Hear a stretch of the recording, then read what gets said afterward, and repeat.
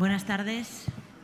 Bienvenidas y bienvenidos a esta Semana de la Música organizada por el Instituto Cervantes, que comenzó el pasado lunes con la presentación del último número de la revista El Canon dedicada a Rocío Márquez. Fue una presentación en la que la voz de Rocío, junto con las intervenciones de Cristina Rosenbinge y Rosa Torres Pardo, hicieron de este salón de actos una emotiva caja de resonancia de la labor que hacemos en nuestros centros difundiendo la música española. Traer aquí este eco y subrayarlo, un eco musical y especialmente armónico gracias a nuestra excelente colaboración con la Sociedad de Gestión, Artistas, Intérpretes y Ejecutantes AIE, es el propósito del acto de esta tarde. Hoy celebramos que desde hace ya 10 años el Instituto Cervantes y AIE, y muy especialmente gracias al impulso de su vicepresidente Luis Mendo, decidieron aliarse para promocionar la música emergente española en el mundo, a través de nuestros centros y gracias al convencimiento mutuo de que para lograrlo hay que compartir programación y recursos.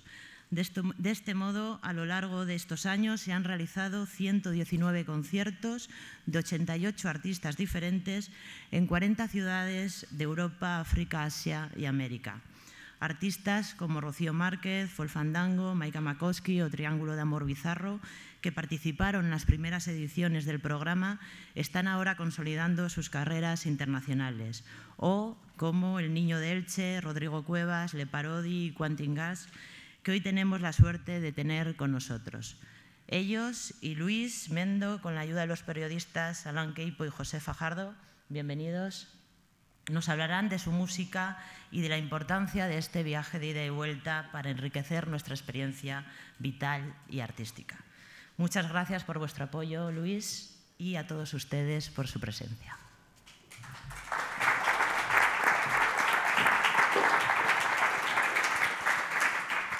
Bueno, buenas tardes a todos. Muchas gracias por venir, por, por venir a, este coloquio de músicas de, ida y vuelta. En un rato, como, como ha dicho Raquel, vamos a estar hablando con, con el Niño Delche, con Quintin Gas, con Rodrigo Cuevas y, y Le Parodi, que están ahí mirando atentamente, atentamente. Vamos a intentar moderar a estos artistas tan poco moderados. Pero bueno, primero vamos a hablar un poquito con, con Luis Mendo, con el vicepresidente de AIE, uno de los impulsores de, de esta iniciativa. Y vamos a hacer unas preguntitas también para, para que todos conozcamos estos 10 años de, de, de, proceso. Bueno, hola, hola, hola a todos, hola, hola Luis. Eh, yo creo que sería interesante que empezáramos hablando precisamente del origen. Creo que hay una, una anécdota que nos quieres contar de cómo, cómo empezó todo, todo, esto, cómo fue sí, el embrión. Bueno, dejadme que dé las gracias primero al Instituto Cervantes por esta invitación, porque colaboramos con mucha gente. Es lógico porque somos una sociedad pequeña, no tenemos muchos medios y necesitamos colaborar con mucha gente para hacer cosas, pero la colaboración con el Cervantes es de verdad muy especial. Hemos tenido la suerte de tener muchos amigos en el Cervantes y, y bueno, pues muchísimas gracias ante todo por, por, por, dejarnos colaborar con vosotros y por colaborar con ahí.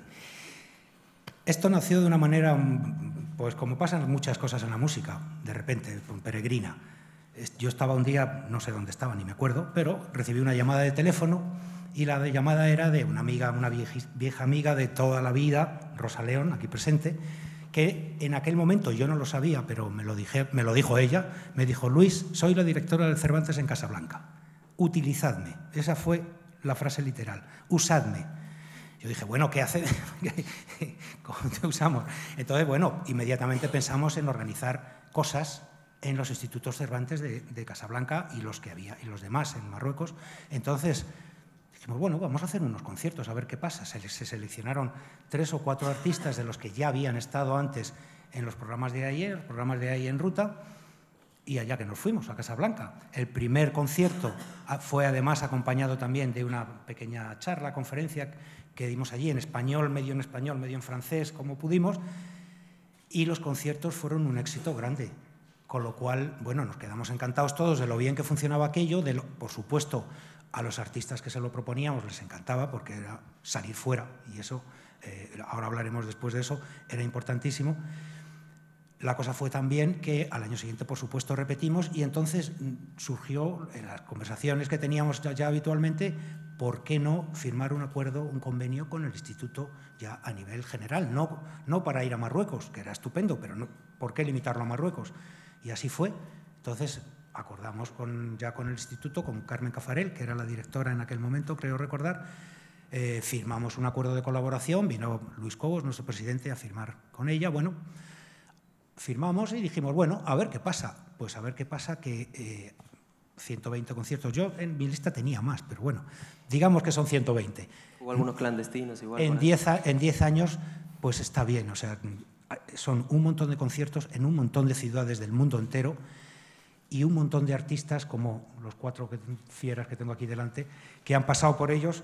Yo tengo apuntados como sesenta y tantos artistas en total, 97 eh, artistas, 61 ciudades y 36 países.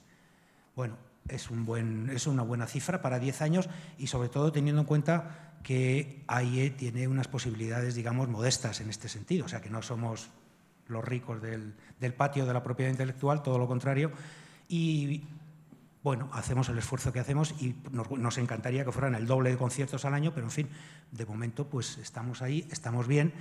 Y los artistas que han ido, que normalmente son socios, algunos sí, alguno que cuando fue no lo era y se ha hecho después, no importa que no sean socios, es decir, nunca ha estado restringido el programa para socios, y, creo que los, compañeros que han ido y que han tenido la oportunidad de viajar a través del instituto con, con AIE, pues están contentos, les ha, les ha gustado y de la experiencia y, siempre nos dicen, oye, ¿cuándo puedo repetir? ¿Cuáles son los, criterios de selección? Porque también... Bueno, los criterios de selección, eh, en, este caso, en este caso concreto de la colaboración con el instituto, son los propios institutos de cada, de cada sitio los que, los que nos demandan. ¿Eh? Nosotros le ofrecemos al instituto cada año un listado, mm, un abanico de, posibilidades de, artistas o que han estado en ruta en nuestros programas, en cualquiera de los programas, o que se presentan ellos, vienen a, a y dicen yo tengo interés en ir con el Cervantes aquí o allá, donde sea. Entonces nos dejan su proyecto, el proyecto pues, nos dejan sus grabaciones, sus discos, sus currículums, etcétera. Nosotros lo presentamos todo al instituto y es cada uno de los institutos de ese muestrario dice, ah, pues a mí me gusta fulanito, de, esos artistas que hay ahí. Por ejemplo, en el norte de Europa, en, en Noruega, pues siempre quieren rockeros. Siempre les gusta mucho el rock peleón y entonces siempre buscan grupos de rock y tal hemos tenido, afortunadamente, y yo creo que eso es una cosa buenísima del programa, todo tipo de artistas, de todo tipo, de músicas. Entonces, bueno, pues es muy variado, pero son los institutos. Por lo tanto, no hay un criterio de selección más que la propia opinión o lo que le viene bien a los institutos en cada país. Es, curioso esto que, comentas, ¿no? de que cada, zona tenga su, su, género, su género favorito y, como dices, creo que el listado al final eh, ha quedado muy, muy diverso. Los, cuatro artistas que, están hoy aquí eh, son, son, un buen ejemplo. ¿Qué os habéis encontrado cuando vais a, zonas como Manila o cuando vais a, zonas... Bueno, ¿Cómo es la respuesta? De, Desafortunadamente yo no voy, ya quisiera. Bueno, cuando mandáis. Pero, no, pero los grupos, pues claro, hombre, les pasan eh, anécdotas, aventuras en la música, cuando viajas siempre te pasan, ¿no? Pero en general la, la respuesta es muy buena. Nosotros en AIE hacemos siempre cada vez que un artista colabora con la sociedad o participa en un programa o algo, le hacemos una encuesta, de, una pequeña encuesta de cómo lo han visto. Que el grado de satisfacción con la producción, con, con la producción, con eh, la, la, distribución, etcétera, etcétera, todo lo que rodea el concierto. ¿no? Y bueno, las respuestas que tenemos son buenas, son buenas en general, o sea, son muy, eh, los, los compañeros que van nos dan un retorno muy bueno de que, de que, les ha ido bien. Hombre, supongo que en unos sitios estará más lleno, en otros menos, eso es lo normal y también dependerá de los artistas, lógicamente. Pero en general la respuesta es buena. De todas maneras, ahora a los cuatro les preguntáis y, si os dicen que ha sido una ruina, pues yo me voy corriendo y ya no digo nada más. Te antes de que acabe. No sé también hasta qué punto eh, el público de los, de los lugares, eh, digamos, va buscando este tipo de programación en, los Cervantes, el público local, sobre todo, ¿no? Bueno, eso ya te tendrían que... Supongo que las personas que han tenido experiencia como directores de los, de los centros en cada sitio te pueden contestar más, porque yo no estoy... Mm, claro, no, no trabajo en los centros en el Cervantes y no te puedo decir. Pero supongo que en el Cervantes el trabajo primordial es el español, es, la lengua. Entonces, me imagino que también, si estás estudiando una lengua en un centro y ese centro te ofrece actividades culturales relacionadas con lo que se está estudiando, etcétera, etcétera, pues hombre, tiene que haber un interés lógico. Y en general los conciertos van bien de público, ¿eh? o sea que...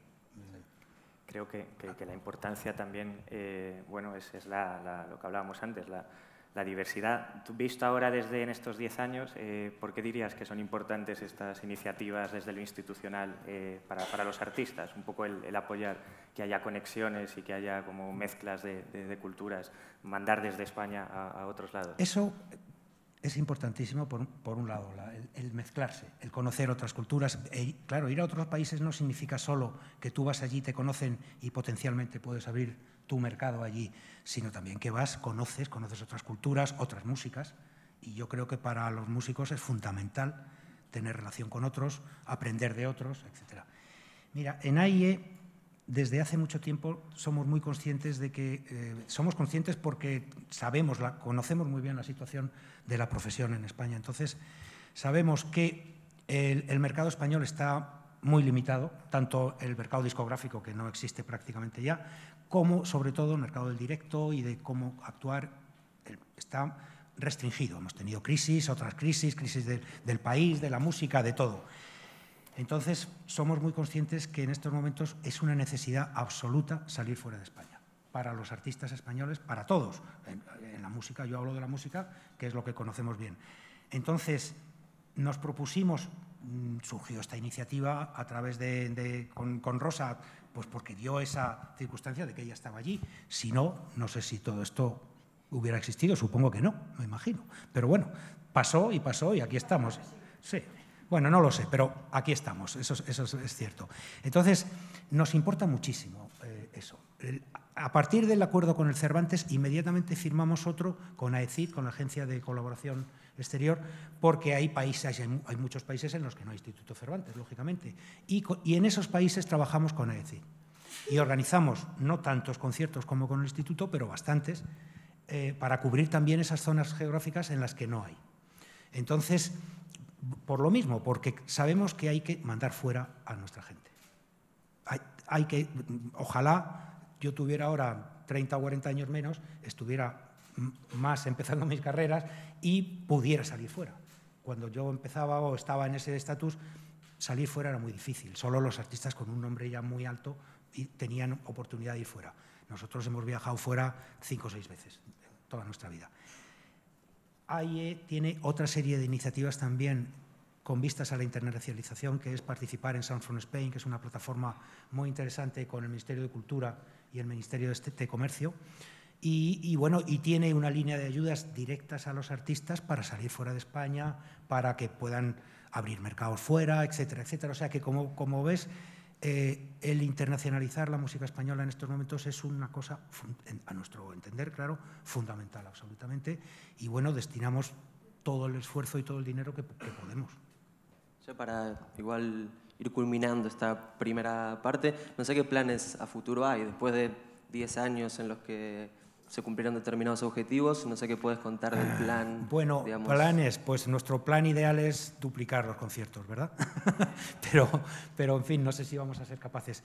Bueno, eh, nuestro plan, eh, fíjate que a la vez que, pasa todo esto, en ahí hemos creado una herramienta para artistas con mucha proyección internacional, una cosa que se llama Stream Rights, que es para atender a los artistas que, que viajan mucho, que venden mucho fuera o que tienen una repercusión fuera, claro, tienen que tener un tipo de atención distinta del artista que solo vende en el mercado local o, trabaja en el mercado local distinta pues porque tienes que abarcar muchos países, estar, es importante saber en esos países en qué países funcionas más, en qué menos, en dónde, porque luego tú como profesional orientas tus campañas o tus, o tus giras o tus rollos a los países que mejor funcionas, etc. O sea que eh, estamos volcando mucho hacia, la, hacia lo internacional. Entonces, los próximos 10 años, pues ojalá podamos aumentar muchísimo el número de conciertos que organizamos con el Instituto y con, y con las otras entidades y ojalá bueno, dupliquemos nuestra recaudación y por tanto podamos dedicar muchísimo más dinero a, esto. Pero nuestro plan es continuar, porque sabemos también que las cosas hay que seguir con ellas, hay que seguir tenemos un programa Artistas en Ruta del que hablaba antes que tiene 22 años y el éxito del programa es que tenga 22 años. Igual que yo creo que el gran éxito de nuestra colaboración es que, dure 10 años y que hayan pasado estos ciento y pico artistas que han pasado. Yo creo que eso es lo mejor de todo.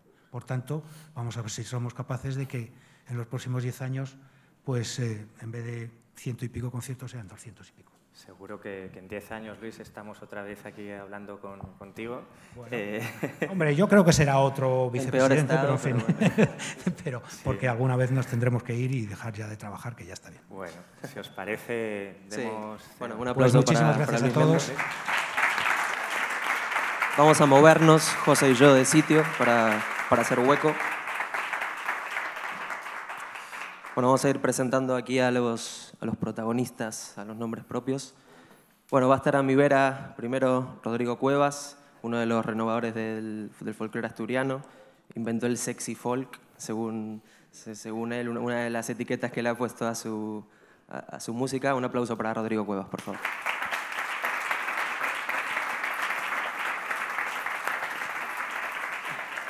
Y aquí a mi, aquí a mi lado me voy a pedir a, Quentin, nuestro, amigo Quintín Vargas, el líder de, Quentin Gas y Los Cígaros, una propuesta eh, súper recomendable que, bueno, que está reinventando el, el folclore andaluz eh, con psicodelia y con un montón de, de, cosas que espero que nos, que nos explique. Otro aplauso para, para él.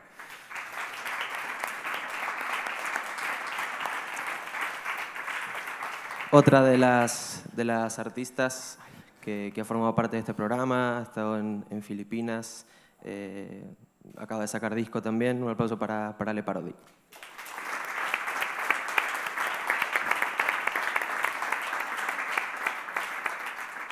Y en el hueco que, falta, eh, invitemos a Niño de Elche, eh, bueno, una de, las personas que están renovando el, flamenco desde una visión transgresora y libre.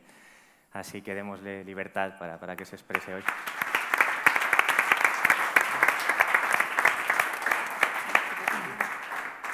Bueno, un poco así en general, para, para, romper el hielo y seguir un poco conectado con lo, con lo que eh, contó Luis. Eh, no sé cómo fue vuestra experiencia en vuestras salidas y si se cumplieron los objetivos, las cosas que creíais que iban a pasar en, vuestras visitas a los diferentes Cervantes, que además fuisteis de zonas bastante diferentes, de Marruecos, Londres, Rodrigo va mañana a Alemania, eh, Filipinas, eh, también Paco estuvo por diferentes puntos. No sé, ¿cómo fue vuestra experiencia? ¿Qué, qué recordáis? ¿Qué os trajisteis de, de, eso? Pues sí, que empiezo yo. Yo, eh, bueno, agradecer siempre las invitaciones a hablar. Em, bueno, yo he tenido como dos vidas, ¿no? La vida de cantador clásico, en la cual yo llegaba a los Cervantes acompañando a compañías de extranjeros que podían sacar un pequeño dinero en aquellas pequeñas salas, recuerdo alguna de Polonia o alguna sala así mínima, y yo recaía allí y bueno, entendía que aquello era un Cervantes, pero iba cantando para baile. Eso por un lado. Entonces, bueno, en aquellas circunstancias, pues bueno, el Cervantes era una sala más que llegaba dentro de una gira de diferentes pueblos por Austria, Polonia, o cualquier país que, te tocaba para poder pagar el alquiler. Después, mi relación con el Cervantes, creo que han colaborado con algunos viajes y tal, no sé exactamente qué, proyectos y tal, pero siempre, bueno, ha habido una tensión, diríamos, como eh, ah, viajando con la palabra el flamenco, ¿no? con la etiqueta de flamenco. ¿no? El flamenco aún sigue siendo visto por las instituciones nacionales, ¿no? como puede ser Cervantes, pues aún con muchísima cantidad de tópico. Entonces, claro, propuestas como la mía, en según qué contexto, pues han sido vistas de una forma muy, digamos, con una forma escéptica. ¿no? Eh, si analizamos todas las programaciones que se hacen desde los Cervantes, pues la mayoría, desde, y con la etiqueta de flamenco, sigue siendo aún unas programaciones aún muy enconadas en el topicazo del flamenco. Entonces, propuestas como la mía siempre tienen una cierta tensión siempre que viajamos con la etiqueta o de lo español o de lo flamenco. Y bueno, la relación de IAIE, pues bueno, siempre agradecerle que haya sido una institución no sectaria. ¿no? Yo eh, no era socio y participé asiduamente en, en muchísimas programaciones de IAIE, Es todo lo contrario a la SGAE, por ejemplo, ¿no? Es todo lo contrario a la SGAE en ese sentido. Entonces, mm, agradecérselo siempre porque precisamente es lo que necesitamos. Entonces, bueno, esa ha sido mi relación siempre con, con estas dos instituciones. El resto de casos creo que Sole además estuvo muy conviviste con artistas de ahí, salieron, te trajiste incluso música, ¿no? Sí, sí, justo. Yo estuve en, en, Manila, en Filipinas. Luego, aparte, hice una gira por España con AIE, pero bueno, en esa no intervenía el Instituto Cervantes. Y la verdad que fue una experiencia brutal en muchísimos sentidos. Para empezar, bueno, de hecho me recojo una cosa que ha dicho Luis que me, que me parece como muy, muy a destacar de este tipo de ayuda a artistas que somos, bueno, en mi caso un proyecto bastante pequeño en alcance. Eh, o sea, yo considero que tengo un proyecto bastante local y, me gusta que así sea y, y, creo que seguirá siendo así toda mi vida porque hago algo un poco minoritario. Y el hecho de poder viajar tan lejos, porque además en el caso de Manidas que prácticamente era irme a la antípodas. O sea, yo por empezar nunca había estado en Asia, nunca había estado 24 horas en un avión eh, y poder viajar y allí hacer un poco lo mismo que hace aquí, porque allí me encontré eso, con una escena como muy local, ¿no? participar con, de, una, de un movimiento con artistas de allí que estaban un poco en, el mismo, en la misma escala y es un intercambio que a todas luces imposible de cualquier otra forma. ¿no? O sea, yo por mí misma no me puedo ir nunca a Filipinas y, no conozco ningún otro programa o institución que, que, que, apueste por esto, porque en realidad es una cosa como que veo que la apuesta no está puesta para nada en la rentabilidad, ¿no? sino en una cosa, en puro intercambio cultural y artístico. Y, y eso, y para mí fue personalmente una cosa como muy, bueno, también me rompió bastante eh, bueno, no, sé si me rompió, pero bueno, me removió porque yo estoy siempre a vueltas con el, con, con el capitalismo y con los esquemas culturales y tal, y llegar a Manila, que es como distopía máxima y a la vez, pues como pasa en toda la distopía, un montón de gente intentando sobrevivir en esa distopía eh, y, hacer como esa inmersión como de una semana y, volverme fue como un, revulsivo que luego yo creo que se me ha quedado y que ha formado un poco parte del, disco nuevo que he sacado y de muchas otras experiencias. Y, y, luego eso también mencionar, que es una cosa que creo muy, muy de agradecer en comparación a otras giras que he tenido, a otras salidas hacia el exterior, que son, por lo menos en mi caso, fue una cosa como muy, eso, muy, muy eh, mezclada con, con, la escena de allí. O sea, no era como una cosa de llegar en tu ovni, hacer lo tuyo y volverte, sino que fue una cosa muy integrada de participar con artistas de allí en un intercambio musical. Eh, en talleres con chavales de allí también, eh, luego en el concierto lo habían movido muchísimo, un montón de público local, que eso fue muy guay, como mucho público de Filipinas, de allí de Manila. Y, y eso en, en, general son como experiencias que de pronto dices, ¿qué haré yo aquí? Pero que, que bien que se haya dado. Como muy de, me parecen como los lujos del artista, ¿no? Que de pronto te mandan a sitios y dices, oye, pues venga, a dar un concierto en Manila.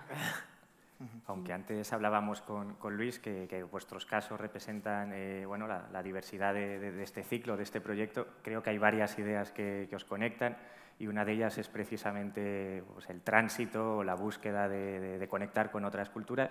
En tu caso, eh, Quentin, eh, creo que es especialmente explícito y además tuviste la suerte de estar en un montón, seis o siete ciudades de, Marruecos. ¿no?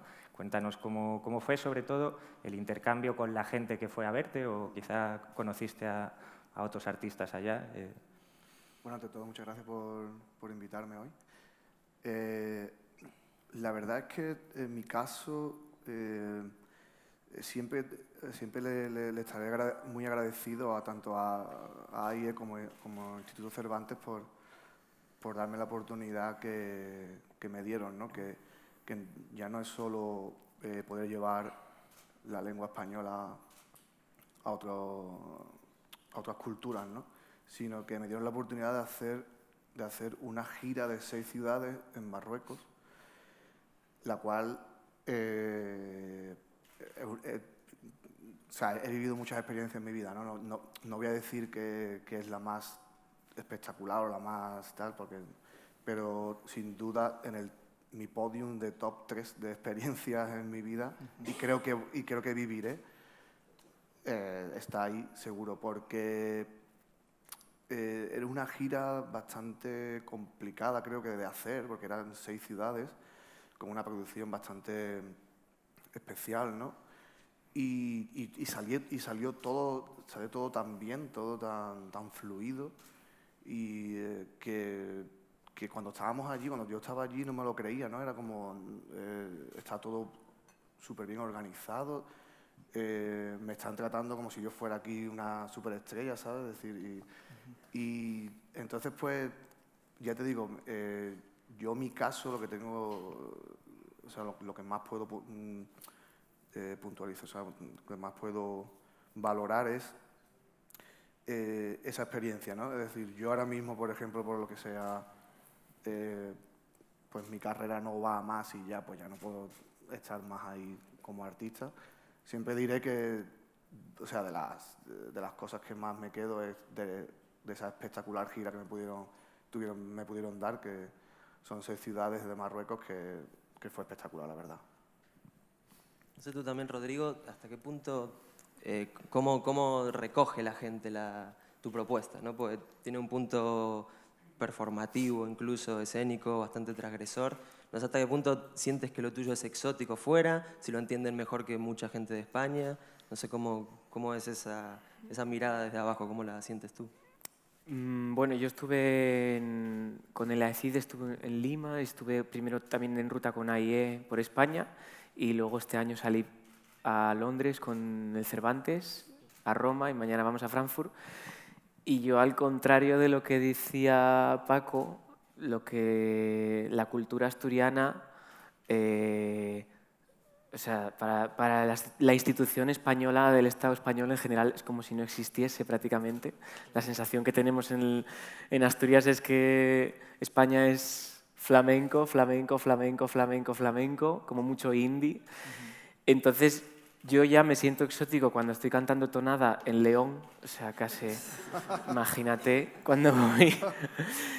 Yo estaba en Lima y me emocionaba de verdad me emocionaba, yo no me emociono nunca, y me emocionaba de estar allí y decir, joder, muchas gracias por traerme aquí, porque yo cuando empecé a hacer el primer espectáculo en el Electrocuplé, pues para mí estar cantando, decir, ¿sabes? Que una institución grande como el Instituto Cervantes eh, confíe en una persona que se pone en calzoncillos y liguero y canta tonada dando volteretas por el suelo ¿Sabes? Que entiendan que, que eso tiene una intención y tiene toda una... Tiene un discurso muy importante y con mucha autenticidad, yo creo, y que entiendan que lo asturiano, no solamente la lengua castellana, tiene que estar eh, expuesta en el mundo, sino todas las lenguas que tenemos en España, pues para mí pues es maravilloso, la verdad. Y Sí, no, ahora, ahora precisamente que, hablabas de, que en España es flamenco, flamenco y flamenco, sin embargo, eh, eh, da la impresión de que ha sido de aquí a unos años que por, lo menos la gente joven empieza a asumir el flamenco como, música suya y, la música que escucha. Eh, creo que cada uno de vuestros casos simboliza un poco esa reivindicación de las tradiciones y de desempolvarlas de aquella imagen que tenían un poco de rancio. Creo que tú, Rodrigo, mismo en una entrevista decías eh, bueno, pues que géneros eh, folclóricos se asocian pues, al franquismo o a otra época porque no se les ha, no se les ha renovado, porque no se, les ha, no se les ha dado una visión desde ahora o porque directamente eh, hay unos prejuicios y no se entienden. No sé cómo, cómo veis vosotros y, bueno, este debate de, de recuperar tradiciones que me da la impresión de que es realmente además lo que está funcionando en la industria ahora mismo. no sé si usaría la palabra recuperar. Bueno, esto lo, hablo personalmente, pero a mí me ha pasado mucho desde que yo me vine a Madrid hace mucho ya. Yo me crié en Granada. Y en realidad para mí ha sido más un destapar una supuesta neutralidad que se te impone cuando vienes aquí, y no solo cuando vienes aquí, sino incluso desde allí. ¿no? Yo tengo como la anécdota mm, estrella que ilustra esto, que es que a mí de siempre me han dicho en mi casa, que somos todos granadinos, granadinos malagueños, que bueno, nosotros hablamos cateto, en Madrid hablan fino. ¿No? Como ahora te vas a Madrid, que ahí hablan fino. Y cuando yo vine aquí, cantaba así en grupetes, porque me gustaba cantar y me metí, pues cantaba poniendo las S, ¿no? Como hablando castellanamente, porque así era como, ¿no? En el indie, en la música alternativa, se cantaba fino. Y de pronto cuando empecé con mi proyecto dije, pues joder, me resulta bastante más fácil cantar igual que hablo. Pero por una cuestión, o sea, como, y no me parecía que estuviera rescatando Y seguí tirando de ese hilo, digo, pues también, o sea, yo no me quería para, no tengo eh, como contacto directo con la cultura flamenca, pero siempre hay como lo que se llama un flamenquito en todos lados. Yo en Granada, pues las cruces, las sevillanas, las tal, todo lo que suena así como a flamencao. Y digo, joder, y esta forma de cantar, o sea, ya te digo, sin haber como estudiado nada ni ser una entendida, pero es como algo que siempre ha estado alrededor. Y me di cuenta estando en Madrid como que todo eso está como significado como si fuera algo, como si no fuera lo normal, ¿no? Lo normal es lo neutro y luego todo eso son, pues, eh, pues desde un souvenir o una cosa, o en la marca España o, o, cosas exóticas minoritarias de por ahí por el norte. Y de pronto era como de, joder, pues Madrid es mucho más pequeño que el resto de... O bueno, quiero decir, como que Madrid también tiene sus folclores, ¿no? Pero mm, para mí, fue, o sea, no me parece que sea, en mi caso no hay un rescate de nada, sino una, un reconocimiento de cosas muy diversas, que estoy hablando en concreto de las cosas del sur, pero hay otras cosas que me configuran, que igual es, yo qué sé, el tecno de Berlín, eh, no sé, ¿no? para mí es como más irte dando cuenta de, de dónde vienes y, y, que, y, que, se puede um, usar la música de muchas maneras y, y, darte cuenta también de qué se impone desde fuera y, qué, y por qué motivos. Sí, más, más, más quizá que rescate es eh, eh, bueno, recuperar del olvido que, que, por lo que sea se le ha dado. No sé si, si bueno, por ejemplo, tú, un poco más de lo mismo, pero... sí. Bueno, sí, la palabra tradición siempre es muy, ¿no? muy complicada de abordar porque se entiende de muchas formas en diferentes contextos, momentos históricos y, y personas. ¿no? Eh, bueno, Hobsbawm ya nos, ya nos enseñó que las tradiciones no tanto se recuperan porque nos llevan al anacronismo, sino es mucho mejor crearlas, ¿no? Con total, con fuera, fuera de, de, de prejuicios. Eso es importante. Entonces, yo creo que nosotros estamos más, más cercanos de crear tradiciones, que es lo que se ha hecho siempre, no es nada nuevo. Y sobre eso, pues jugar con imaginarios colectivos, memorias, olvidos, pero olvidos que se pueden elogiar, ¿no? No, no el, olvido nunca es, no, no siempre es negativo, ¿no? la construcción de la memoria, la construcción del pasado, la construcción de una contemporaneidad diferente en cada momento. Todo eso pertenece seguramente a nuestras propuestas y todo eso relacionado con el romanticismo del folclore, el romanticismo de las identidades culturales que bien sabemos que no existen, como, como enseña Julián, y, y tantas otras cuestiones que aparecen en nuestro imaginario cultural, costumbrista, y que hace de nuestras propuestas pues, artefactos muy fáciles de instrumentalizar eh, según qué contextos. ¿no? Y, a, eso jugamos siempre cuando hablamos de tradición, territorios, ¿no? culturas, eh, viajes, idas, vueltas, etcétera, etcétera.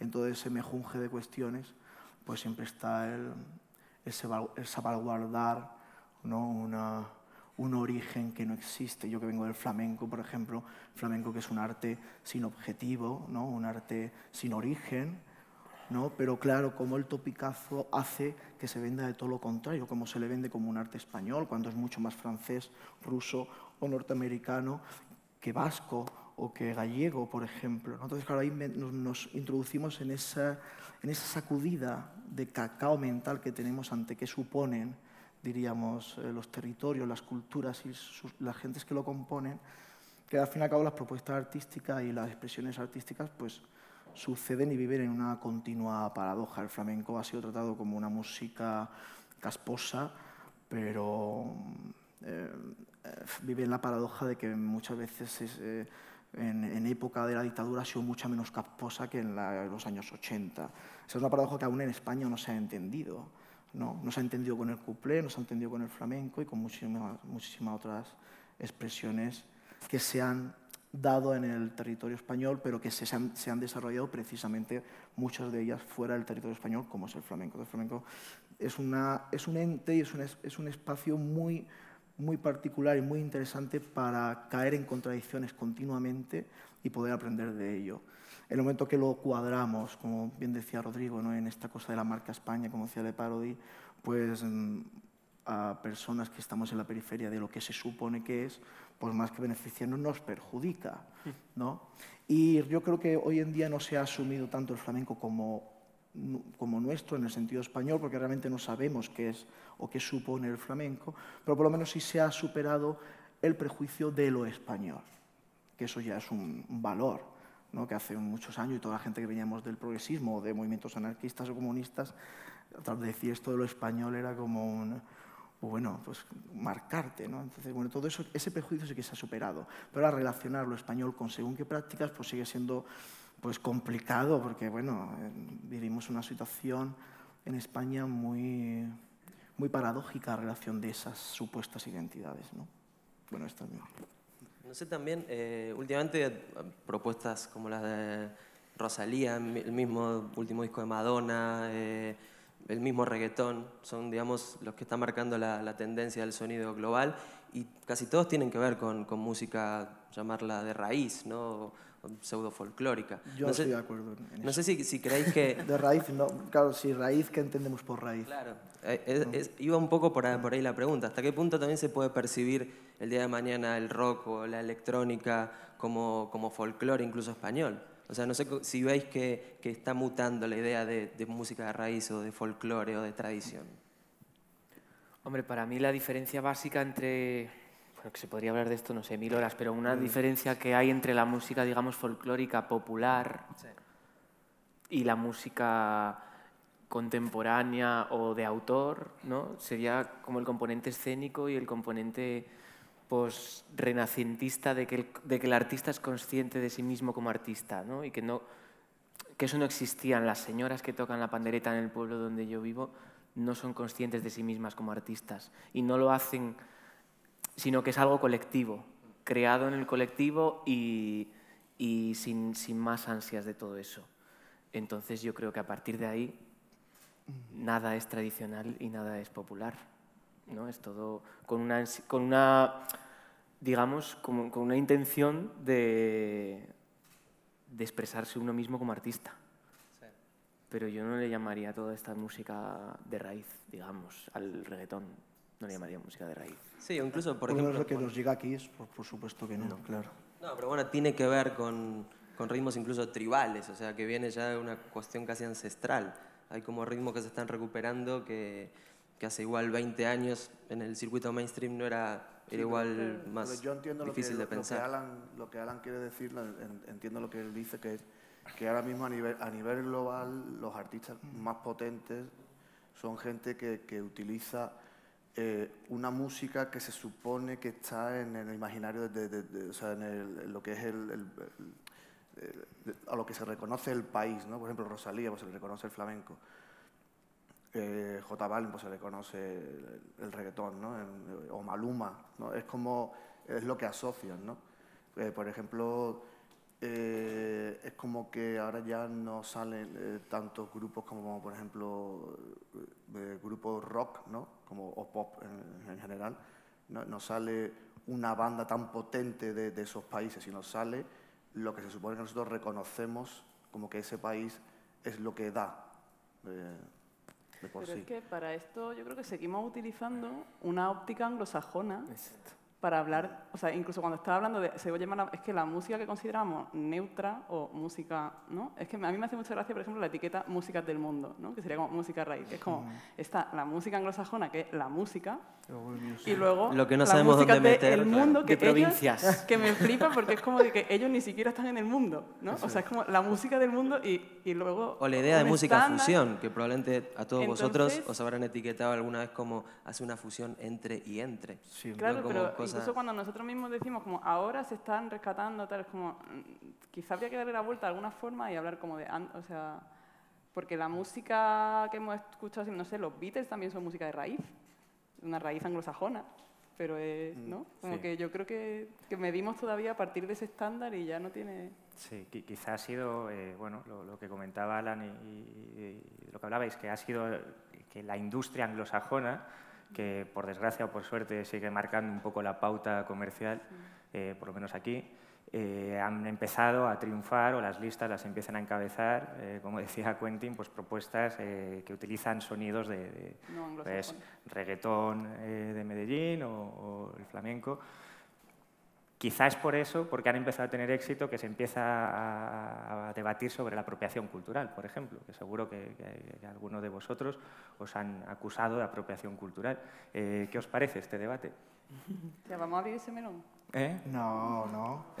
Es como si, es como abrir, abrir ese debate, es como abrir el debate que por qué la gente respira. Abrir, O come, abrir, ¿no? abrir melón. Es algo absurdo. Yo me Bueno, llego a a no entrar en eso. A mí no me y si entro, por- ¿Cre- cre- ¿Creéis que puede tener relación? Porque precisamente están teniendo No, yo éxito creo. y si no, no hubiera hay, habido ese hay debate. una cosa clara, ah, bueno, hay una cosa que a la hora de analizar eh, el valor subjetivo a la hora del arte, y esto nos tenemos que extrapolar más allá de la música, ¿no? O sea, eh, cuando una persona, cuando una persona que es del mainstream, como decimos, que también es una- es una abstracción muchas veces eso, pero cuando hablamos del mainstream, ¿no? Y se, se acusa a esa persona de apropiación, de apropiación, pero claro, el gesto, el material, el material concreto, su valor no depende solamente de ese material, depende del contexto, depende en qué con- contexto histórico, socioeconómico, quién lo hace, el por qué, ¿sabes? Eso es lo que le da valor. Si yo hago así, no me van a pagar a mí igual que a Israel Galván. No, pero no es porque Galván lo haga mejor, pero es el mismo gesto, pero está en un contexto, otro cuerpo, otro sentido de la mercancía, otro sentido del valor económico en el arte, ¿no? Entonces, claro, bueno, esta cosa de la, esta cosa, esa visión marxista de la plusvalía en el sentido del arte ya se demostró hace muchos años que es absurdo y la apropiación va también muy, ace- muy cercana a la, a la idea- idealización de la práctica artística relacionada con un pueblo, un colectivo, el- no tanto el común, ¿no? Y eso sigue siendo una romantización de la práctica artística, ¿no? Eso lo, lo vivimos en los años 60, a reacción de la, de la World Music, los 70, ¿no?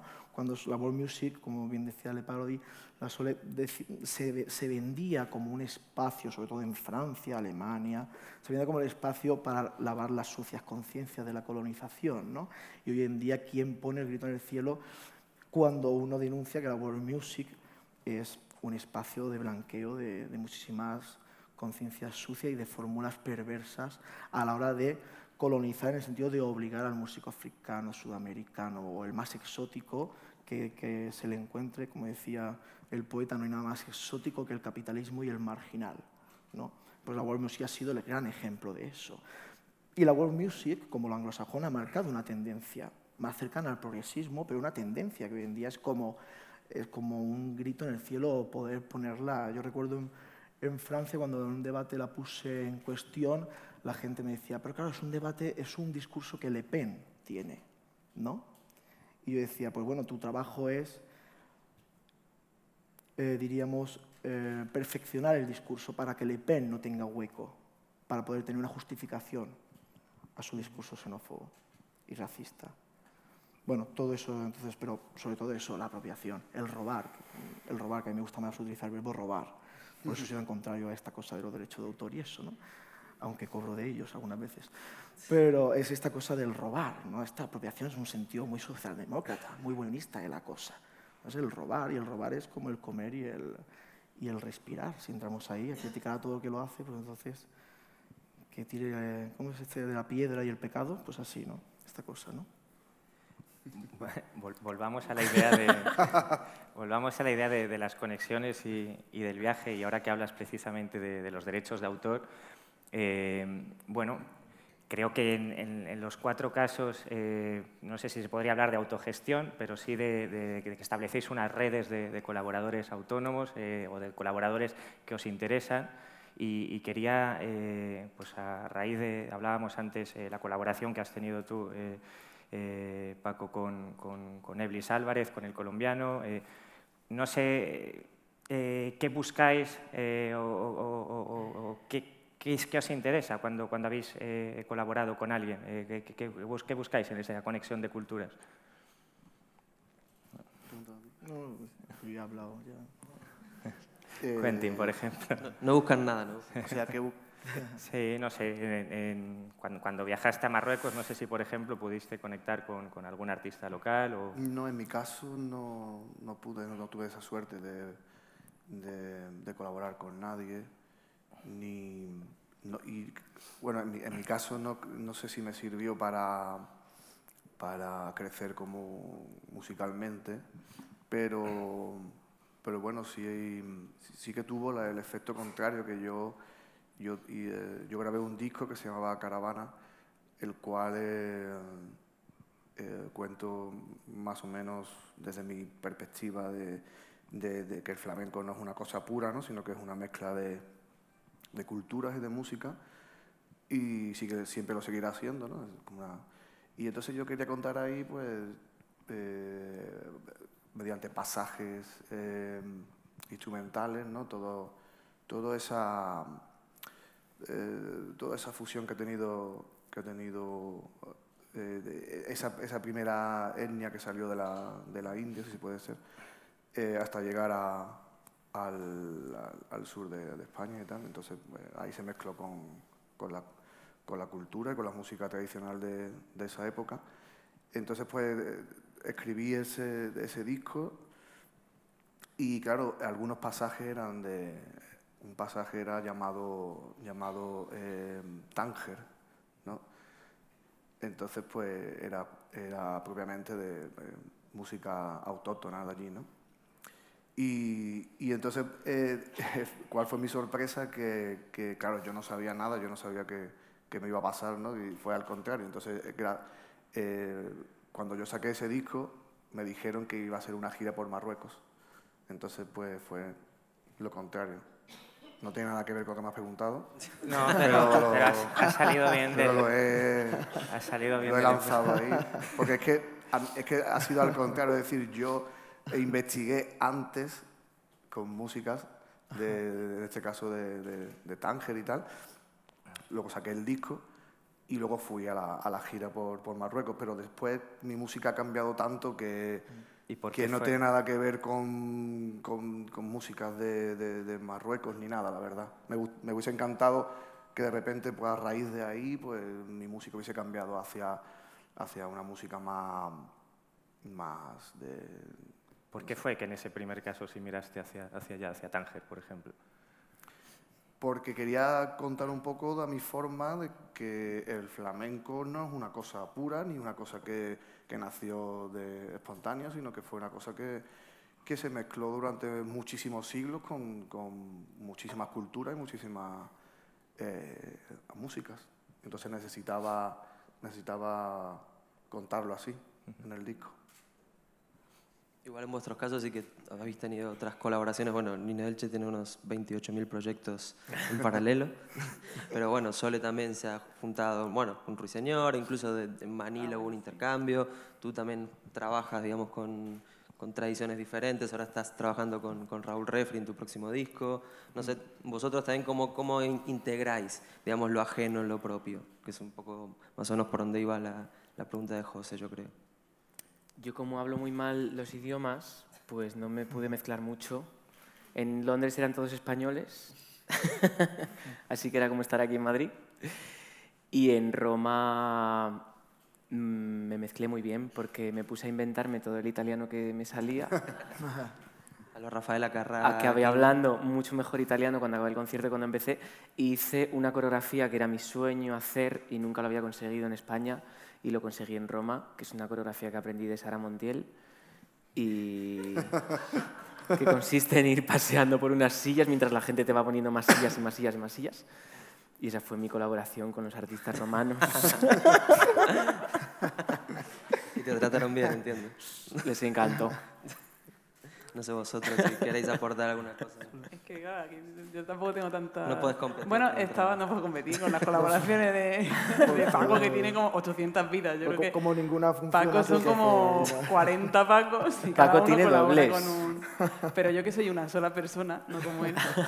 Eh, justo se me venía a la mente porque, bueno, es verdad que eh, colabora con Ruiz Señora, que es un grupo súper bonito de aquí de Madrid también, y en ese caso yo es que tengo una cosa así como muy de, mm, de raíz, pero no de raíz de música raíz, sino de buscar como familia todo el rato, ¿no? Porque a veces te sientes un poco rara y de pronto cuando ve algo que a mí se parece, pues como, la para casa, estos son como, son de los míos. Y Ruiz Señora es un proyecto que siento bastante afín y entonces nos gusta hacer cosas juntos un poco por no sentirnos muy solos en, el resto de la escena.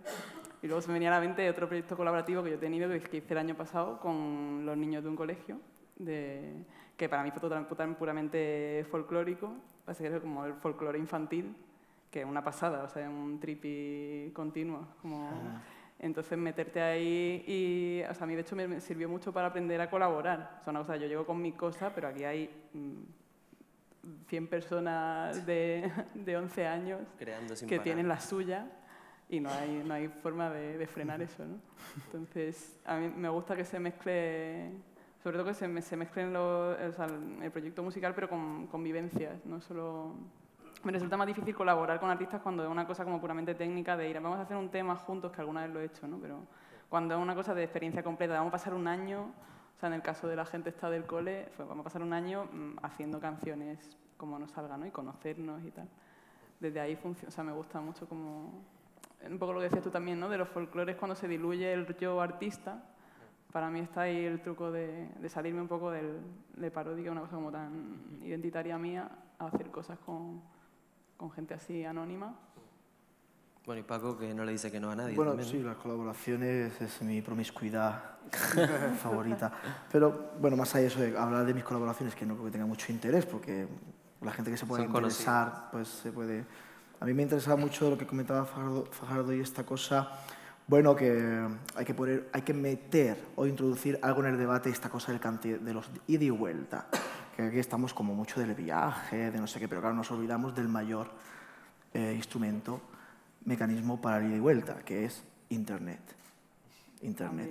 Si no tuviésemos Internet, ese ida y vuelta real no existiría. Entonces, yo animo a Cervantes a que promocione que tengamos Internet gratuitamente, porque ese es el, realmente el, ida y vuelta, esa es la, una de las grandes revoluciones que hemos, que hemos obtenido para estar hoy hablando de esta mezcolanza y llegar a extremos inesperados sobre lo que entendemos por ida y vuelta y por intoxicación.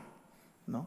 Eso por un lado. Después, lógicamente, está ese ida y vuelta en, en el común, en, en, el compartir espacio, pero después aquí hay que tener una cosa muy clara para no caer, y perdón por ser un poco repetitivo, pero como vengo de mi vida anterior de desmitificar continuamente cuestiones, pues yo animo a que no caigamos en la mitificación de la relación, de porque tú viajes a un país y estés dos días con un músico de ese país, ya has encontrado el germen de lo que supone el encuentro de culturas. Eso lo hará un historiador que ve la historia de una forma lineal, pero eso no es real. Entonces a mí, como persona que trabaja con, las prácticas experimentales, escénicas, espirituales, etc., siempre soy muy pesado diciendo que aquí no es tanto que tú te juntes, que eso es lo que hacía la world music y lo que sigue haciendo la world music, encuentros, encuentros de músicos y, y encontrar pequeñas anécdotas en el ritmo o en la melodía. Pero a mí que me gustan los procesos radicales, o sea, de ir a la raíz, no solamente de la raíz de la tierra, sino de la raíz del ser, creo que es muy importante que sigamos trabajando cómo nosotros nos enfrentamos a, una, a un contexto y a un, y a un encuentro con un músico. ¿Qué mecanismos artísticos, sociales, políticos generamos a la hora de entablar una conversación y una relación con un artista?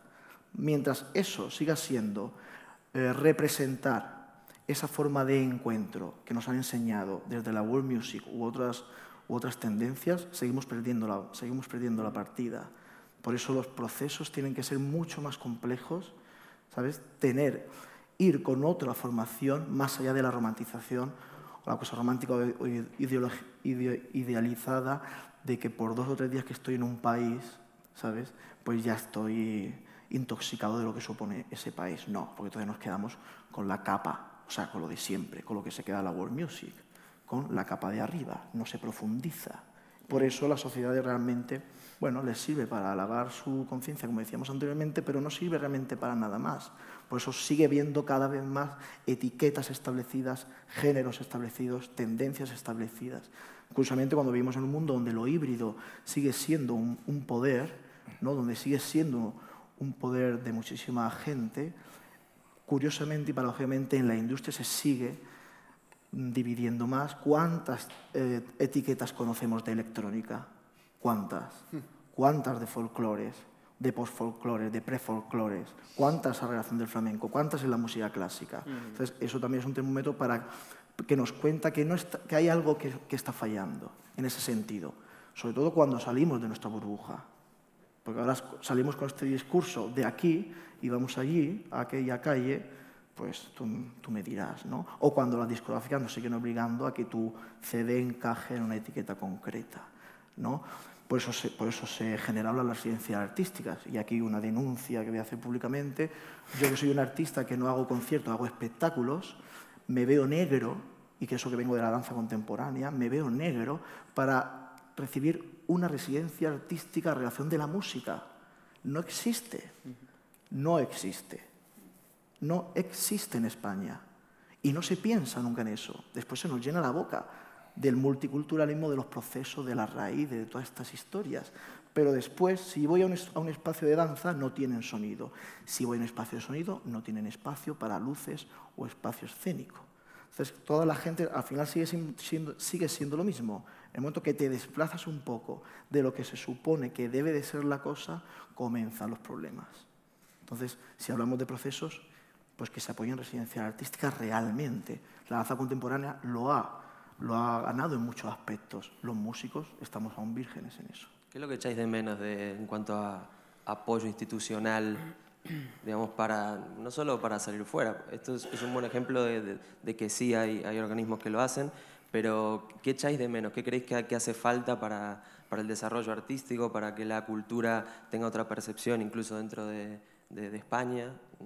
No sé, bueno, tú ya has propuesto alguna cosita. La residencia. No sé, el resto. Yo la verdad que me siento bastante afortunado con eso porque yo sí que acabo de hacer una residencia artística. Depende de, de un mes. Depende de tus exigencias sonoras o escénicas. En la laboral, ¿no? Con un teatro sí, entero sí. y con disposición técnica y tal. Pero bueno, sí que es verdad que lo que yo hago lo está, es muy fronterizo entre lo teatral, lo escénico, la danza y, el, y la música. Entonces, si hubiera ido con una propuesta musical estrictamente, no me lo hubieran dado, sin duda. Mm. O sea, de hecho, me lo dijeron. Que, sí. que lo valoraron como escénica porque lo creen, creen que es que es escénico lo que hago, no, no solo musical. Y, y, bueno, pues ahora con el Instituto Cervantes, pues estoy contento, no sé. Yo, yo estoy muy contento en la vida. Yo no quiero más. ¿Qué vas a decir aquí también? Pero si es que, no, es que queremos mucho, queremos bueno. mucho y no, y no hay que querer tanto. Es Hombre, que yo no, creo hay que... que querer, hay que querer mucho. Hay que... No, mira, que te conformas estamos con refalfiados. Refalfiados es una palabra asturiana que es como que ya te quejas por todo, ¿sabes? No, pero no es quejarse, pero es verdad que te dan la oportunidad de decir qué más queréis y hay que tener, ¿no? Claro. Hay que Hay pedir, que es la oportunidad. pedir. Vale, si Claro, no la queremos carta más, los. Magos, Pide, un poco, pide, ¿no? Pero no Pide, pedir con nada. tú Yo, de pide, hecho, pide, estoy de pide. acuerdo con, con Paco y sí que siempre, siempre lo pienso, además, ¿no? Como siempre se dan cifras como muy, que está muy bien, porque es verdad que, claro, ¿cómo lo hacen? no Está guay que, que 200 artistas tengan la oportunidad de hacer un concierto fuera, pero muchas veces pienso como... Yo vivo siempre como esta precariedad inestable de sé cómo va a ser mi vida hasta noviembre, luego ya noviembre, hasta, venga, hasta enero tengo trabajo, venga, hasta, ¿no? Uh -huh. Siempre, y te vas salvando así, me ha salido dos, con dos bolos aquí, me ha salido un viaje aquí. Y entonces como, joder, ¿no? Que existiera algo como más continuado, como, no sé si una residencia o un... que me dejen... Sí. O sea, yo luego hago, claro, que son cosas que a lo mejor dices, pues, es inviable económicamente, pero de, de alguna forma, o sea, como que pudiera haber un apoyo... Porque yo para desarrollar un proyecto, yo soy lentísima, no sé, yo veo a la gente que saca un disco, yo necesito como dos o tres años de estar investigando una cosa y luego encerrarme, eh, que es algo totalmente improductivo, ¿no? Para hacer este año, he estado, o sea, este disco que he hecho ahora, he estado sí. más de medio año sin ganar dinero y gastando ah. mucho dinero. Entonces, es como todos estos periodos que son tan necesarios para luego poder salir a hacer... Eso apenas está cubierto, o sea, igual hay residencias de un mes o de tal, y muy específicas para artes de residencia, y parece como que la música sale de, un, de una burbuja así, ¿no? Y de que no comemos durante ese proceso de... Entonces, yo solo, aunque estoy también muy agradecida a la vida en general y a algo las estructural, instituciones, ¿no? Pero, falta... pero algo como más de, de agarre, de, de, tío, vivimos todo el año y toda la, o sea, como toda la vida nos la pasamos siendo músicos, no solo los momentos un paro, ¿no? Para el músico. ¿no? Total, un paro sin retorno de estos. Esos meses que paro. estamos componiendo, que estamos... O en el bar. Pero un paro, una renta básica. Estamos parados, pero en porque... el bar también estamos. Pero porque en realidad no podemos, eh, o sea, no podemos eh, componer y, y, y, hacer demos y lo que sea para un próximo disco y viajar sí. y tocar. Es que no se puede, eso es imposible. Entonces, no sé, un paro, ¿no? Un Pero es que yo creo que es el problema de la representación, ¿no? En España se siguen haciendo teatros, se siguen haciendo auditorios, se sigue gastando mucha pasta en eso, pasta nuestra, Infraestructura, mucha pasta nuestra, ¿no? Y de todos. Entonces, claro, es un problema en el sentido de que entendemos por, por la representación del arte, ¿no? Y entonces, claro, se piensa siempre, pues hace un auditorio, gran auditorio y otro auditorio y venga más auditorios. Y, bueno, ya, hay un montón, pero después no hay espacios reales para, para que se desarrollen las propuestas para los auditorios. Eh, yo hablo en un sentido global, si yo hablara de mí, pues sí, yo tengo una residencia ahora en Matadero, y tengo, pero tengo que ir por otros lados. Y es un, es, un, es un rollo que tenga que ir como me- metamorfeando mi, mi propuesta para engañar supuestamente al, al abogado del Estado, por ejemplo, ¿no? o al delegado de turno. Es que es muy triste, ¿no? Y después la cantidad, ¿no? Yo creo que hace falta más ¿no? confianza, sobre todo, ¿sabes? Yo creo que no es una cuestión tanto de dinero, sino más libertad más y más confianza creativa, ¿sabes? Que no estén... eh, no, es que tienes que justificarme que este proyecto que estás, cuando estás presentando una residencia, por ejemplo, o un proyecto para girar, o estás justificando algo ante las instituciones, es como, como si siempre les estuvieras engañando. O sea, Que hay una parte de eso. Porque, hay claro, una parte de esa, pero es que eso es el arte. Eso está es el eso, arte. claro. somos, somos artistas. ¿no? Somos artistas y somos chorizos por naturaleza, Eso eso, está es, clarísimo. eso es. Pero yo creo que debe haber más confianza en el sentido de no te puedo justificar lo que voy a hacer. O sea, en esta convocatoria para la residencia dentro de seis meses, yo sí, en mi cabeza, si quieres, yo te suelto un rollo y me invento lo que voy a hacer dentro de seis meses, pero no va a ser así, porque yo estoy evolucionando, un artista está en continua evolución y si quieres yo te miento, pero no va, no va a ser esto lo que voy a hacer. Hombre, hay, hay que agradecer a, las- a los equipos de las instituciones, no, no los grandes cargos, sino los equipos que entienden muchas veces esto, que puedes Lo entienden, habla claro. y, y te pueden ayudar a, a mí me gusta mucho así, en plan un poco descarado, que te ayudan a encontrar las pequeñas corruptelas ¿no? para sortear la gran burocracia que, que supone muchas veces La eso. burocracia es el problema. Pero, bueno, pero más allá, Dinero yo, gratis, sobre todo es, es- dame es dinero y ya. proponer, proponer espacios, sobre todo para que el imaginario del músico como tal, pues encuentre espacios de, de desarrollo. Y, abrir, y, el- y- y cultivar el arte en la gente, pues desde que eres niño. Cultivar el arte en Eso general. ya es la utopía. Abrir el arte.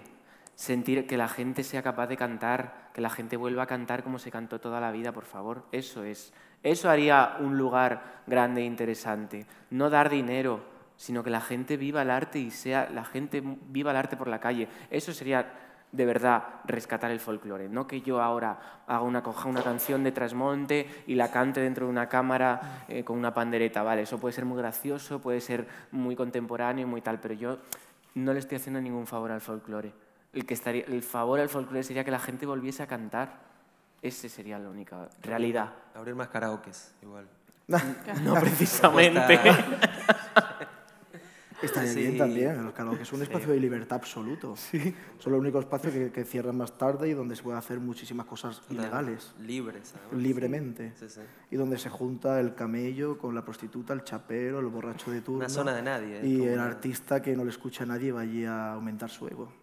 ¿no? No sé si, José, ya estamos llegando casi al final. Ahora, si queréis hacer alguna pregunta. Pero... Están saliendo ideas, ideas interesantes. Eh, no sé si alguien de- de- del público quiere participar o... Parece que no, ¿no? Bueno, eh, Sí, ya casi. Sí, eh, co- con- simplemente con esta, con esta última eh, idea que decíais de los espacios, eh, ¿sentís que, que- que las salas de, de conciertos no están dando respuesta a las propuestas musicales? que Las hay? instituciones, Las la sala de conciertos, No- no es tanto bastante las- tienen ya las pobres con lo que tienen. Pero es que también las salas de conciertos están adscritas a una legalidad que muchas veces, o sea, una normativas que son, o sea, como que restringen una área, o sea, un, no sé, yo me cuento eso, como que haya un horario cerrado, que todo tenga que acabar a una hora, que tenga que empezar a una hora, los límites de ruido, o sea, como que hay- que no es una cosa que dependa de, ¿no? Que depende yo creo que también de una concepción de la cultura, o sea, en mi caso me parece como, o sea, siempre me, me sorprende que se respete, bueno, entre comillas, tanto el derecho al descanso, pero no el derecho a la fiesta. O sea, que se persiga el derecho a la fiesta cuando a mí me parece fundamental, una- y aparte una cosa que puede convivir si se le da espacio a las dos cosas y se hace como una... Bueno, esto sí como para hacer mi alegato de siempre, de- por, el, por el ruido y por la fiesta, que creo que es muy necesaria y, y, eso está, o sea, tiene un estigma brutal, está perseguido de una forma totalmente además absurda porque siempre sale, ¿no? La fiesta siempre va a salir. Pero, pero el hecho de que eso se entendiera y que se pudiera hacer convivir con el resto de... también daría como bastante espacio. Seríamos una sociedad más sana quizá, ¿no? Si la gente Yo creo que estuviera sí. más, ¿Más más de fiesta. Más sana. Más hubiera más. Totalmente sí. No sé si es la palabra exactamente, pero sí, más sana puede ser. Más festiva. Seguramente. Una sociedad más festiva, Seguramente. que siempre viene muy bien. Pero bueno, Claro. Hay, hay dis- distintos tipos de sanidad. Más feliz. Pues eso es salud. Yo en las salas me vuelvo a encontrar el problema también ese de, de que una, una sala está muy bien cuando empiezas, pero para mí era un sufrimiento estar Mm. yo que hago una cosa que yo me he visto un montón, me maquillo, pues en las salas pues te tienes que estar vistiendo entre los En meados de no sé qué, arremangando la falda para que no te toque ahí. La sala es dura. La sala, La sala. Sí. Sí. la sala es dura. Yo ya casi para acabar y trayendo un poco la, la idea que se soltaron ideas como, como etiquetas, como prejuicios, como eh, diferentes maneras de, recibir vuestras propuestas. No sé cómo, cómo lleváis vosotros, cómo gestionáis eh, el rechazo. El rechazo el- o, el, o el no entender o el cuestionar antes de escuchar a fondo. No sé, cada una de vuestras propuestas seguramente alguien habrá rajado, de algunos probablemente más que de otros, no, no sé cómo, cómo lo lleváis vosotros.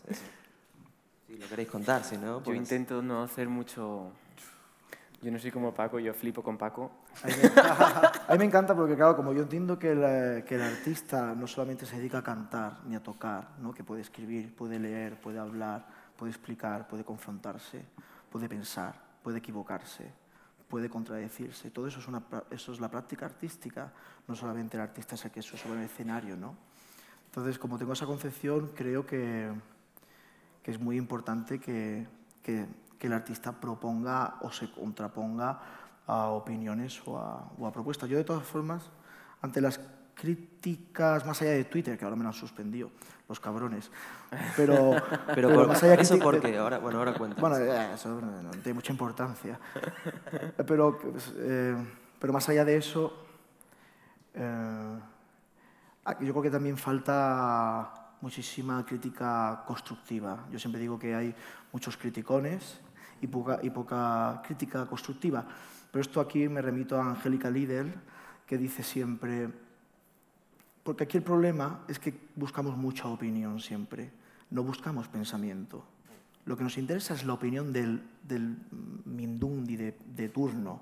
Yo quiero opinión, porque eso es una especie de entretenimiento, pero no una opinión repensada en un sentido filosófico y de experiencia, la cual te ayude a tener un, un- un pensamiento crítico. Pero claro, aquí lo que menos interesa es que la gente piense críticamente. Entonces, claro, en la prensa musical, en el arte, pues en España eh, estamos en horas bajas en ese sentido. Y a partir del clickbait, beat este, ¿no? esta cosa de darle me gustas a internet Al y todo este mundo, eso es, pues a partir de, estamos ahora mismo en un, proceso cancerígeno ¿no? de lo que supone. Y después pasa muchísimo que yo lo vivo con mi último disco, con otros discos, en los cuales cuando no hay tantos referentes, la prensa musical o el público, eh, gran parte del público sí, pero les cuesta mucho eh, entender las propuestas artísticas como un aprendizaje, un desplazamiento o un proceso de. ¿No? Seguimos viendo las propuestas artísticas, que en el arte contemporáneo no pasa eso muchas veces, pero en la música se sigue viendo como aún el, diríamos, el producto el que yo tengo que disfrutar y me tiene que hacer disfrutar desde mis códigos. ¿no? En el momento que ese producto me crea una serie de interrogantes, que en el arte contemporáneo se ve perfectamente, ya empiezan los problemas. ¿no? Y, y después, lógicamente, pues eso crea contrariedades en los públicos, también a raíz de la etiqueta. ¿no? La etiqueta es un engañabobos. Por ejemplo, en mi caso, pues va público hoy en día porque tenemos internet y hay mucha más información, pero hace unos años que la gente no iba tanto a internet, o gente según qué edad no se metía a internet, pues claro, aparecían los conciertos y yo creo que yo he sufrido pues mucho menos insulto de lo que parece, pero he sufrido hoy yendo con Israel Galván, yendo con Angélica, o en conciertos míos, insultos o medio teatro irse. Entonces yo siempre digo, ¿y qué necesidad hay de esto? ¿No? Y claro, entonces esa gente se, se siente engañada. Ya que has pagado, por lo menos quédate para, claro, esa gente se para siente, insultarme. ¿no? Se siente engañada y yo incluso les, les, les apoyaría en su enfado y me iría con ellos despavorido diciendo es verdad, os han, os han engañado. ¿no? Porque realmente los discursos un poco más complejos no, no, de, desde muchas instituciones, desde muchas plataformas de, de, periodismo o de crítica de arte no son bien recibidos. ¿no? La complejidad de los discursos no, nos, gusta un, nos sigue gustando los eslóganes. Los eslóganes somos, y como yo siempre digo, cuando hay un eslogan, ¿no? arriba está el fascismo y abajo está el fascismo sociológico. ¿no? Eso que nos, nos gusta revolcarnos en esto de los eslóganes y, y, bueno, yo creo que esa, a mí esa tensión me parece que es positiva. O sea, que es positiva. Lo, negativo es que no haya, realmente que no hablen de una, de una propuesta u otra. Hay otro tipo de rechazo que yo, claro, entiendo que, que yo estoy convivo con él de vez en cuando, que es el de la ignorancia. Quiero decir que eso, también es duro, ¿no? Cuando dices, joder, ¿qué, ¿qué, más os puedo dar? ¿no? Como yo porque yo tengo, vamos, yo vivo con esta cosa de hago lo que me da la gana y lo que a mí me gusta y luego, pues claro, cuando ya lo he hecho y lo he publicado, digo, hostia, pues claro, esto no, no va a ser masivo. No, no, va, no, voy a llenar estadios con esto, pero mientras yo lo estoy haciendo, yo estoy súper a tope como de, joder, esto es escuchable por todo el mundo. o sea, esto va a ser mainstream, esto es un temazo. Luego ya lo saco y digo, bueno, vale, ahora lo, lo pongo al lado de otro y digo, pues igual no.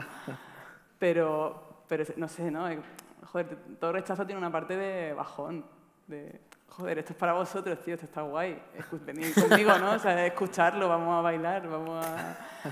Pero luego también, ¿no? Pues, o sea, no sé, para mí una parte de que está bien también cuestionarte de, a ver, realmente, ¿qué quiero hacer con esto? ¿Dónde quiero llegar? Y luego de aceptarte y conocerte, que está muy bien.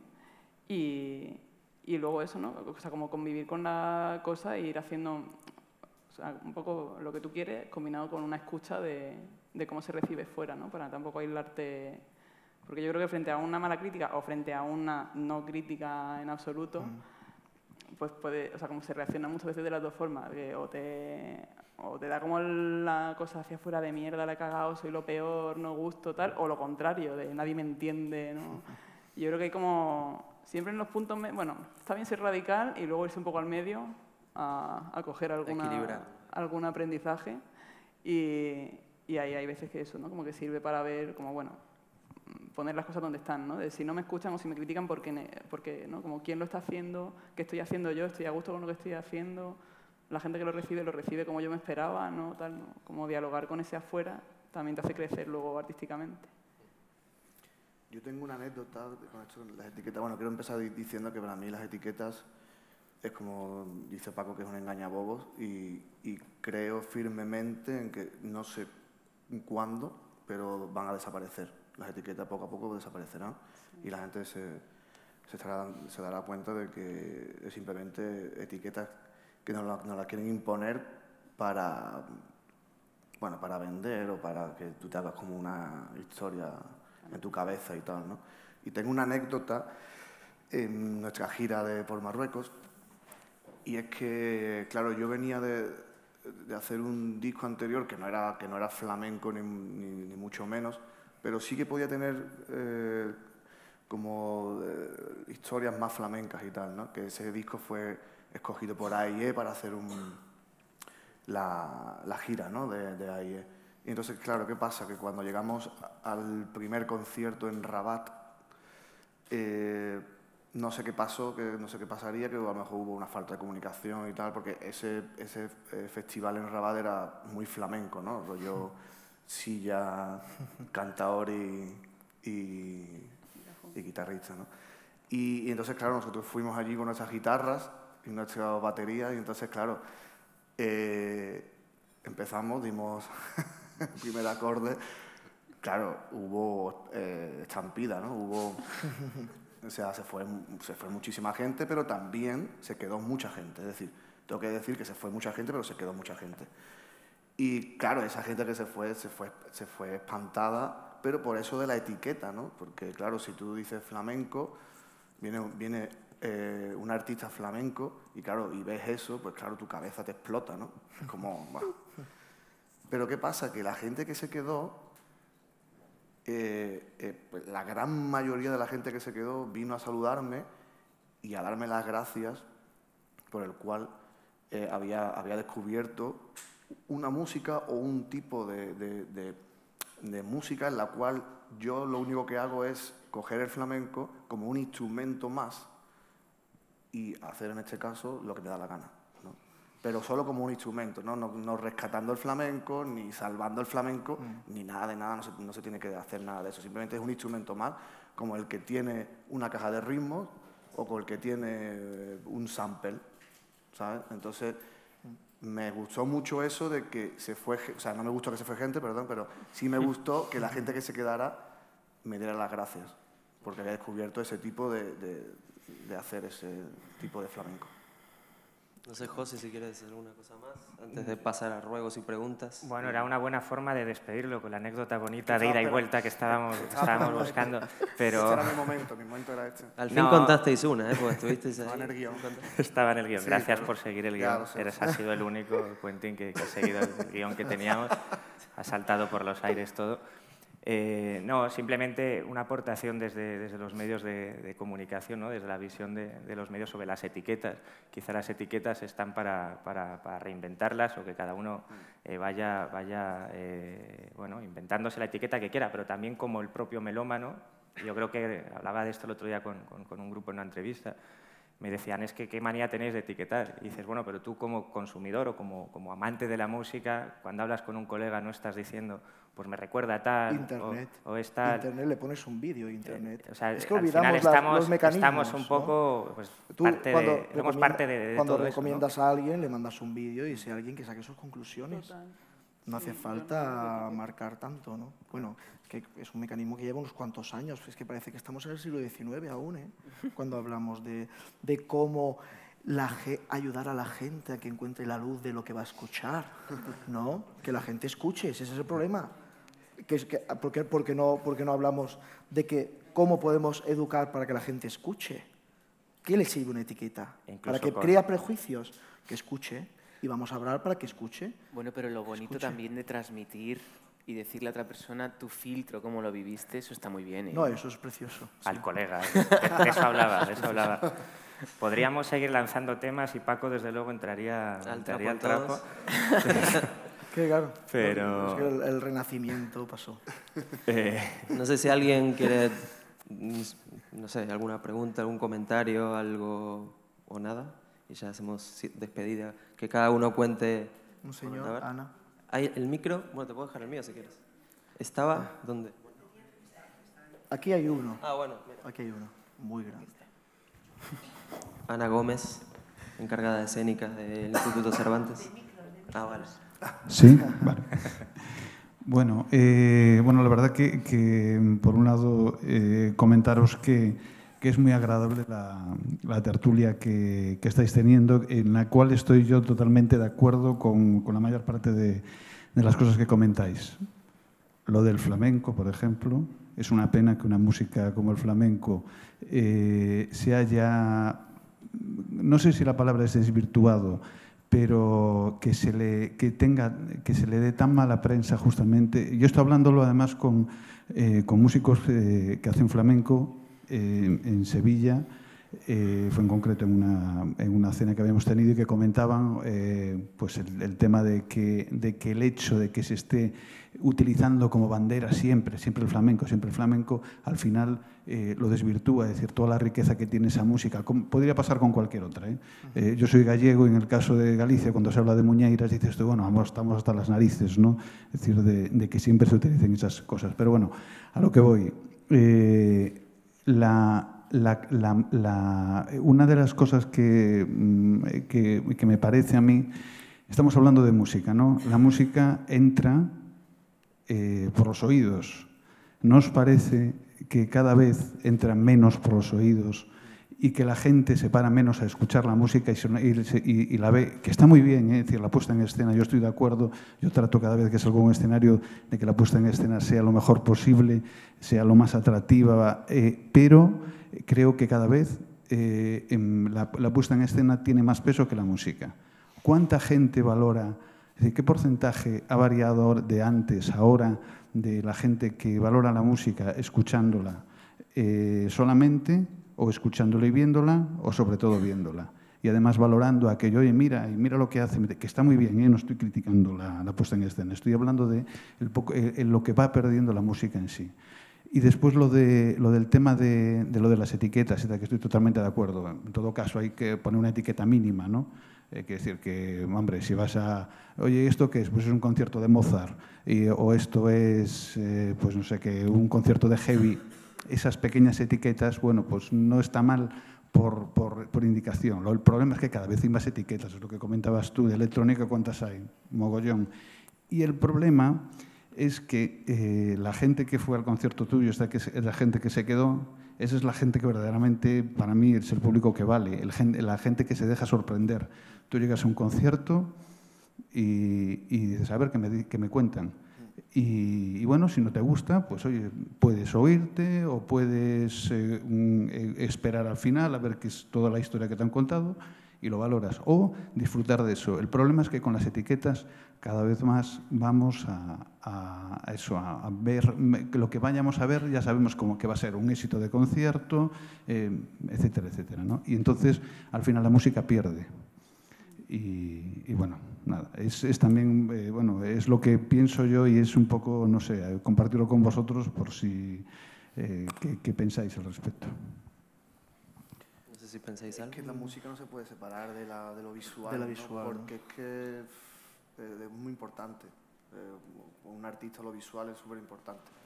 Tú no puedes quedarte, es decir, un músico no puede dar un concierto con una mampara aquí y, y, ya está, ¿no? Es decir, tú tienes que expresar musicalmente, pero también visualmente y, y corporalmente, ¿no? No sé. Y porque si pones una mampara y solo escuchas música, sí, Habla que... Eh, lo, que quería decir no es que no lo hagas en el escenario, quiero decir que, que, lo que se está yendo es a que la gente cada vez escucha menos la música. Es decir, no que tú vayas a un concierto y estés viendo todo el conjunto, que es, que es cierto, sino que cada vez la gente eh, eh, valora menos la música, valora más el conjunto. Entonces la música en sí, que tanto hablábamos, hablabais vosotros antes de la música, de lo que, de lo que el valor que tiene la música y, de lo poco que se, que se, le da cuando te buscas algún tipo de ayuda para conseguir montar un espectáculo y demás, eh, eh, cada vez queda, queda más en segundo plano y la gente lo vive así. La gente eh, mm, no escucha la música, más bien la, la, la ve. Entonces, eh, quiero decir que no está una cosa reñida con la otra, me refiero que se está perdiendo esa, esa otra... Bueno, yo, yo creo que, que, que, la gente, que hoy en día tenemos bajos niveles de escucha. No diría que antes se escuchaba más que ahora, no creo, no creo. Por eso entonces estamos como que tiempos pasados fueron mejores.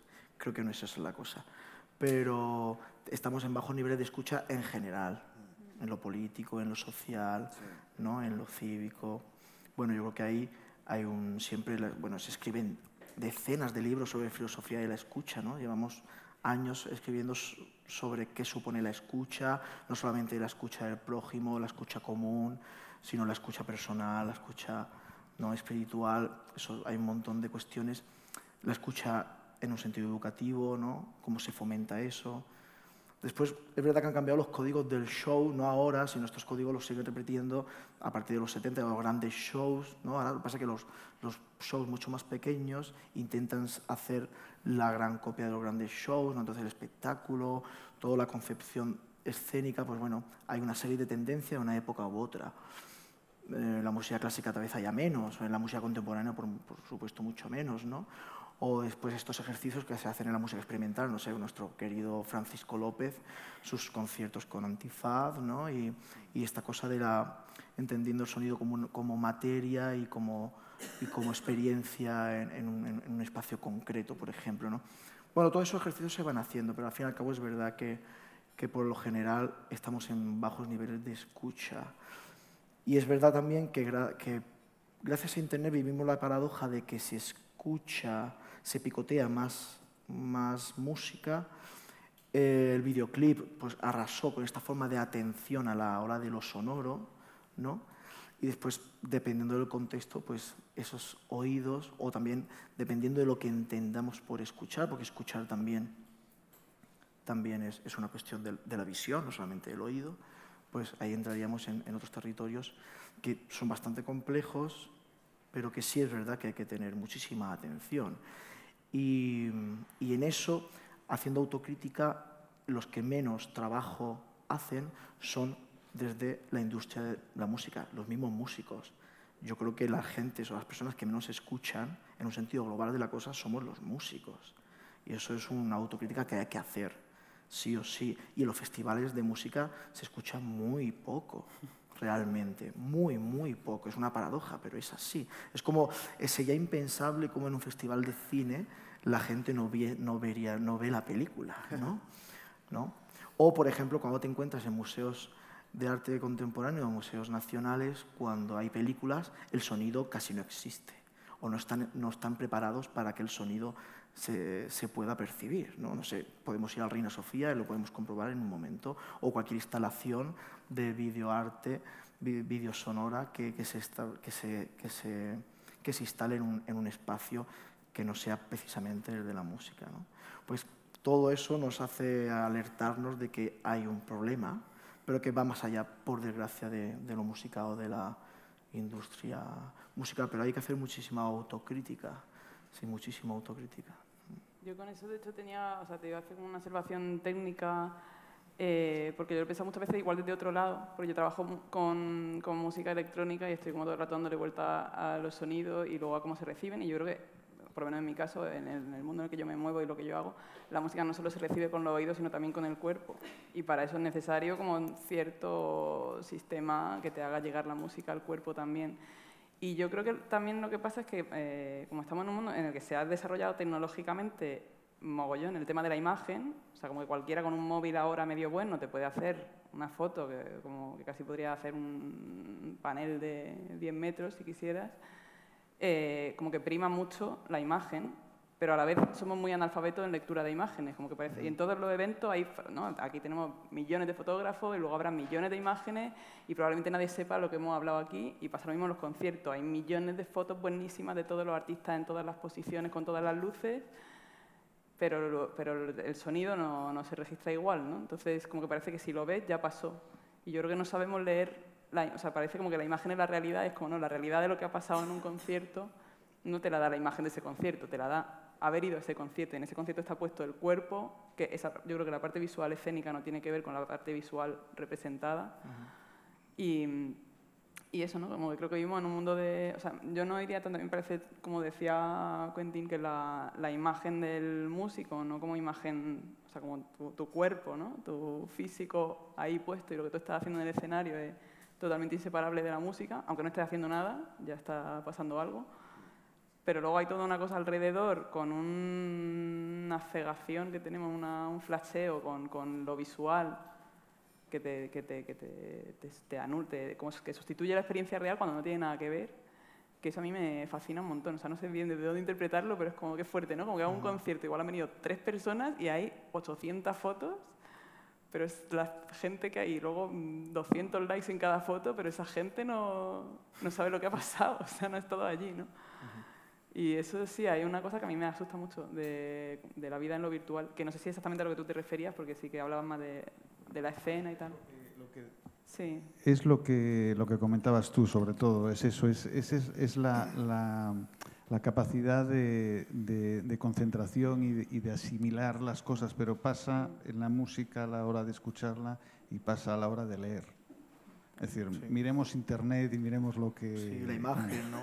sí, sí, es decir... Foncuberta nos ha enseñado mucho sobre eso, ¿no? Joan Foncuberta, su trabajo va sobre todo eso, ¿no? Sobre lo que comentaba Le Parodi, cómo de repente toda esa lluvia de imágenes pues realmente no significan nada y también significan mucho, claro. Bueno, si no hay más nada que decir, muchas gracias a todos por venir. Mañana va a haber también un, acto a las 8 con una cosa con Radio 3 celebrando el Día de la Música. Va a estar Vega, Paulina la Playa, Elena Goch, bueno, muchas, muchas artistas, así que un aplauso para los cuatro artistas y gracias por venir.